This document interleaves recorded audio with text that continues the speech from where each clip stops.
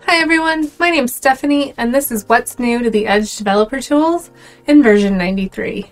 In version 93, we're bringing VS Code theme support, Fluent UI updates, the ability to debug DOM node memory leaks with the new Detached Elements tool, a new way to change your DevTools locale without changing your browser settings, the ability to copy a declaration in the Styles pane for CSS and JS, client hints, Screen readers now announce errors, warnings, and issues in the toolbar and console. Copy as PowerShell in the network tool now includes cookies. And finally, Microsoft Edge Developer Tools for Visual Studio Code now integrates with the VS Code debugger workflow. First up, you can now apply popular default light and dark themes from VS Code to the Edge Dev tools. To select a color theme, navigate to Settings and choose a theme from the Themes drop-down menu.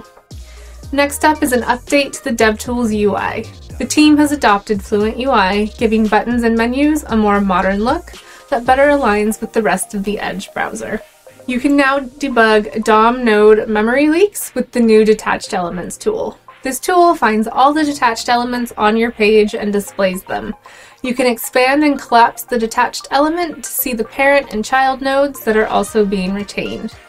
You can trigger the browser's garbage collection by selecting Collect Garbage and validate that you have a memory leak when a detached element cannot be garbage collected. And you can jump into JavaScript that's referencing the detached element by taking a heap snapshot with the Analyze button. To turn on this experiment, navigate to Settings, Experiments, and select the checkbox next to Detached Elements. You can now change the DevTools display language directly from the DevTools settings. Previously, changing your DevTools language required changing the browser language.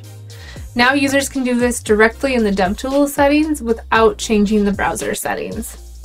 Navigate to the DevTools settings, and then in Preferences, select a language from the language drop-down list. Next, we've brought the ability to copy a declaration in the Styles pane for CSS and JS libraries. Previously, a CSS declaration formatted for JavaScript had to be edited after copying to match JavaScript syntax. Now you can copy a single CSS declaration or all the declarations in a style rule and paste them directly into a JavaScript file without having syntax issues. To try this out in the Styles pane of the Elements tool, right-click on a declaration in a style rule and select Copy Declaration as JS or Copy All Declarations as JS and paste into a JavaScript file in your text editor. Next, we have client hints.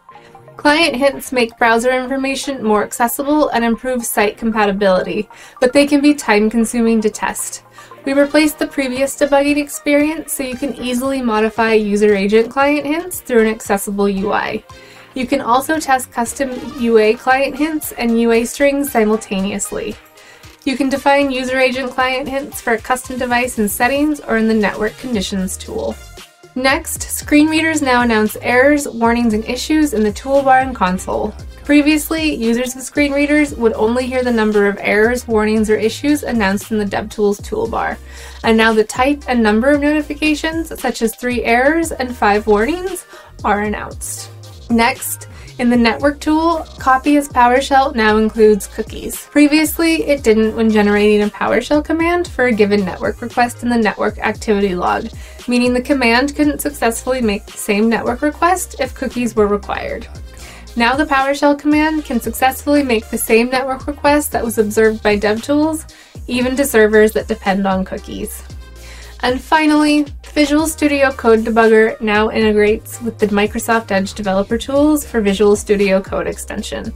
If you use JavaScript debugging in VS Code, you can now launch this extension by selecting the Inspect button, and it also integrates DOM and CSS debugging. For more information on these features with demos and screenshots, check out the link to the DevTools documentation below, and stay tuned for what's coming next in Edge 94.